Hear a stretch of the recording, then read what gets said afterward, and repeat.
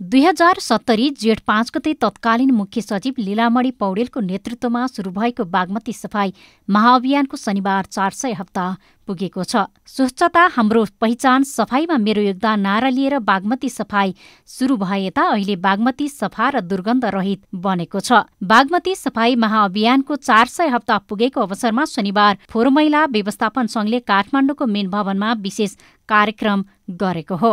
कार्यक्रममा बागमती सफाई अभियन्ताहरूले नदीमा फोहोर फाल्न हुँदैन भन्ने जनचेतना फैलाउनु मुख्य कुरा भएको बताएका छन्। यस्तै सरकारले बागमती लगायत कुनै पनि नदीमा फोहोर फाल्ने ढल मिसाउने काम गर्नेलाई कानुनी कारवाही हुने गरी कानून निर्माण गर्नुपर्नेमा अभियन्ताहरूले जोड दिएका छन्। कार्यक्रममा सहभागी कलाकार मनिषा कोइरालाले सबै नागरिकहरूलाई बागमती सफाईमा लाग्न आग्रह गर्नुभयो।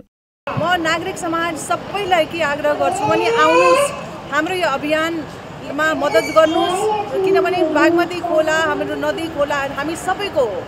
त्यसैले यसलाई स्वच्छ राख्ने वातावरणलाई स्वच्छ राख्ने आफू कसरी हेल्दी बस्ने कसरी क्लिन आफ्नो इन्भाइरोमेन्टलाई राख्ने हामी सबैले गर्नुपर्छ।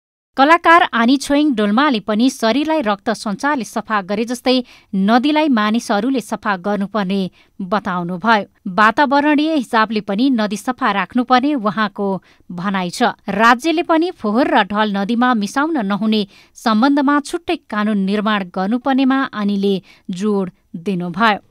राज्यले एउटा कानुन एउटा व्यवस्था यस्तोरी स्थापना गरिदिए झन् राम्रो हुन्थ्यो जसले गर्दाखेरि भोलि आएर यो खोला नालाहरू चाहिँ निरन्तर फोहोर नरहि नगइराखोस् जसरी ढल योहरू फोहोरहरू जुन हामीले नादा नदी नालामा हामीले फ्याल्ने गर्नेछौँ त्यसलाई एउटा राज्यले कानुनै तोकिदियोस् कि त्यो गर्न पाइँदैन महाअभियानमा सरकारी कर्मचारी नेपाली सेना नेपाल प्रहरी सशस्त्र प्रहरी नागरिक अगुवाहरू कलाकार विद्यार्थी विभिन्न सङ्घ संस्थाहरू र जनप्रतिनिधिहरूको सहभागिता हुने गरेको छ। प्रत्येक शनिबार नागरिकहरू स्वतस्फूर्त रूपमा बागमती सफाईमा जुटेपछि अहिले बागमती नदीबाट दुर्गन्ध हटेको छ भने नदीमा सफा पानी बग्न थालेको छ। यो अवधिमा नदी किनारमा बगैँचा निर्माण हुने रुख रोप्ने लगायतका काम भएका छन्। बागमती नदीको विभिन्न ठाउँमा छब्बिसवटा पार्क निर्माण गर्ने लक्ष्य समेत राखिएको छ।